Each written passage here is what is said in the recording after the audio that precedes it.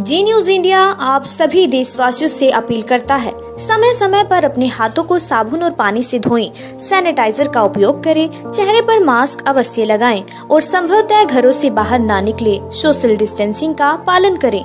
आप सुरक्षित देश सुरक्षित।